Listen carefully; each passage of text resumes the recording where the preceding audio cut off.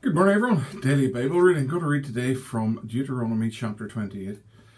In Deuteronomy chapter 28, God gives Moses um, a message to the children of Israel about the consequences of obedience and the consequences of disobedience. The consequences of obedience to God's word in God's mercy will be for the children of Israel blessing, a great blessing.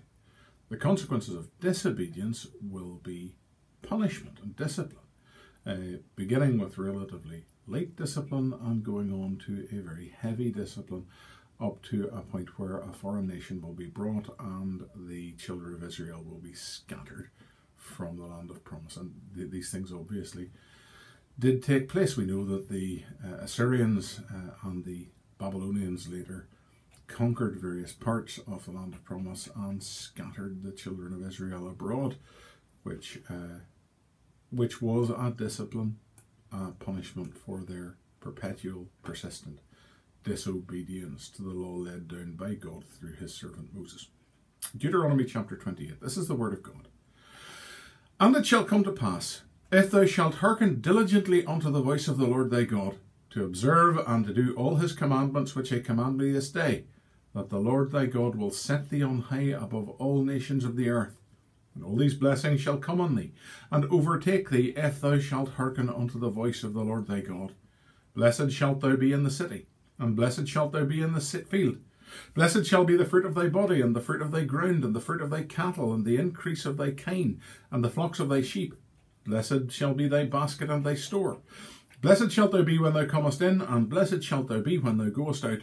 The Lord shall cause thine enemies that rise up against thee to be smitten before thy face. They shall come out against thee one way, and flee before thee seven ways.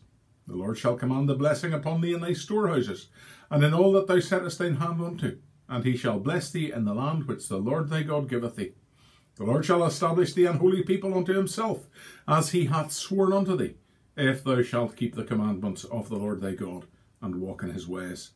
And all people of the earth shall see that thou art called by the name of the Lord, and they shall be afraid of thee.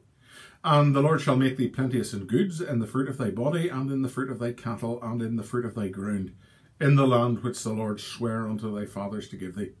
The Lord shall open unto thee his good treasure, the heaven to give the rain unto thy land in his season, and to bless all the work of thine hand, and thou shalt lend unto many nations, and thou shalt not borrow.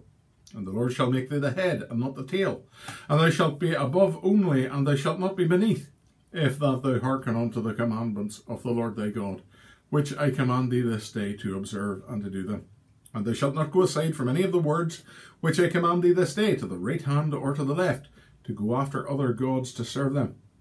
But it shall come to pass, if thou wilt not hearken unto the voice of the Lord thy God, to observe to do all his commandments and his statutes which I command thee this day, that all these curses shall come upon thee and overtake thee. Cursed shalt thou be in the city, cursed shalt thou be in the field, cursed shalt thy basket and thy store be. Cursed shall be the fruit of thy body and the fruit of thy land, the increase of thy kine and the flocks of thy sheep. Cursed shalt thou be when thou comest in, and cursed shalt thou be when thou goest out. The Lord shall send upon thee cursing, vexation, and rebuke in all that thou settest thine hand unto for to do, until thou be destroyed, and until thou perish quickly, because of the wickedness of thy doings whereby thou hast forsaken me. The Lord shall make the pestilence cleave unto thee, until he have consumed thee from off the land, whither thou goest to possess it. The Lord shall smite thee with a consumption, and with a fever, and with an inflammation, and with an extreme burning, and with the sword, and with blasting, and with mildew, and they shall pursue thee until thou perish. And thy heaven that is over thy head shall be brass, and the earth that is under thee shall be iron. The Lord shall make the rain of thy land powder and dust. From heaven shall it come down upon thee until thou be destroyed. The Lord shall cause thee to be smitten before thine enemies. Thou shalt go out one way against them, and flee seven ways before them, and shalt be removed into all the kingdoms of the earth. And thy carcass shall be meat unto all fowls of the air, and unto the beasts of the earth, and no man shall fray them away. And uh, the Lord will smite thee with the botch of Egypt, and with the emerods, and with the scab, and with the itch whereof thou canst not be healed. The Lord shall smite thee with madness, and blindness, and astonishment of heart. And thou shalt grope at noonday as the blind gropeth in darkness, and thou shalt not prosper in thy ways, and thou shalt be only openly oppressed and spoiled evermore, and no man shall save thee. Thou shalt betroth a wife, and another man shall lie with her. Thou shalt build a house, thou shalt not dwell therein. Thou shalt plant a vineyard, and shalt not gather the grapes thereof. Thine ox shall be slain before thine eyes, and thou shalt not eat thereof. Thine ass shall be violently taken away from before thy face, and shall not be restored to thee. Thy sheep shall be given unto thine enemies, and thou shalt have none to rescue them. Thy sons and thy daughters shall be given unto another people, and they shall look and fall with longing for them all the day long, and there shall be no mate in thine hand. The fruit of thy land and all thy labours shall a nation which thou knowest not eat up, and thou shalt only be oppressed and crushed away. So shalt thou be mad for the sight of thine eyes which thou shalt see. The Lord shall smite thee in the knees and in the legs with a sore botch that cannot be healed, from the sole of thy feet unto the top of thy head. The Lord shall bring thee and thy king which thou shalt set up over thee unto a nation which neither thou nor thy fathers have known, and there shalt thou serve other gods, wood and stone. And thou shalt become an astonishment, a proverb, and a byword among all nations, whither the Lord shall lead thee. Thou shalt carry much seed out into the field, and shalt gather but little in, for the locust shall consume it. Thou shalt plant vineyards and dress them, but shalt neither drink of the wine nor gather the grapes, for worms shall eat them. Thou shalt have olive trees throughout all thy coasts, but thou shalt not anoint thyself with the oil, for thine olive shall cast his fruit. Thou shalt beget sons and daughters, but thou shalt not enjoy them, for they shall go into captivity. All thy trees and fruit of thy land shall the locust consume. The stranger that is within thee shall get up above thee very high, and thou shalt come down very low. He shall lend to thee, and thou shalt not lend to him. He shall be the head, and thou shalt be the tail. Moreover, all these curses shall come upon thee, and shall pursue thee, and overtake thee, till thou be destroyed, because thou hearkenedst not unto the voice of the Lord thy God, to keep his commandments and statutes which he commanded thee. And they shall be upon thee for a sign and for a wonder, and upon thy seed for ever, because thou servedst not the Lord thy God with joyfulness, and with gladness of heart, for the abundance of all things.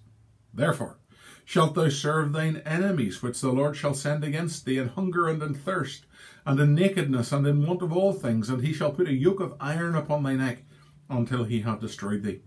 The Lord shall bring a nation against thee from far, from the end of the earth, as swift as the eagle flieth, a nation whose tongue thou shalt not understand, a nation of fierce countenance, which shall not regard the person of the old, nor show favour to the young.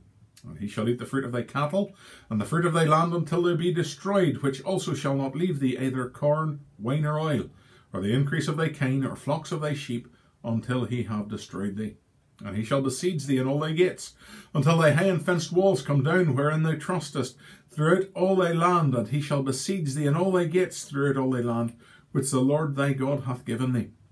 And thou shalt eat the fruit of thine own body, the flesh of thy sons and thy daughters, which the Lord thy God hath given thee in the siege, and in the straitness wherewith thine enemies shall distress thee, so that the man is tender that is tender among you, and very delicate, his eye shall be evil towards his brother, and towards the wife of his bosom, and towards the remnant of his children which he shall leave, so that he will not give to any of them the flesh of his children whom he shall eat, because he hath nothing left him in the siege and in the straitness, wherewith thine enemies shall distress thee in all thy gates. A tender and delicate woman among you, who would not adventure to set the sole of her foot upon the ground for delicateness and tenderness, her eye shall be evil towards the husband of her bosom, and towards her son, and towards her daughter, and towards her young one that cometh out from between her feet, and toward her children, which she shall bear. For she shall eat them for want of all things secretly in the siege, and straitness, wherewith thine enemies shall distress thee in thy gates if thou wilt not observe to do all the words of this law that are written in the book, that thou mayest fear this glorious and fearful name, the Lord thy God. Then the Lord will make thy plagues wonderful, and the plagues of thy seed, even great plagues, and of long continuance, and sore sickness, and of long continuance. Moreover, he will bring you upon you all the diseases of Egypt, which thou wast afraid of, and they shall cleave unto thee. Also, every sickness and every plague which is not written in the book of this law, them will the Lord bring upon thee until thou be destroyed. And ye shall be left few in number, whereas ye were as the stars of heaven for multitude, because thou wouldst not obey the voice of the Lord thy God. And it shall come to pass that as the Lord rejoiced over you to do good and to multiply you, so the Lord will rejoice over you to destroy you, and to bring you to naught, and ye shall be plucked off from off the land where thou goest to possess it. And the Lord shall scatter thee among all people, from the one end of the earth even unto the other, and there thou shalt serve other gods, which neither thou nor thy fathers have known, even wood and stone. And among these nations shalt thou find no ease, neither shall the sole of thy foot have rest.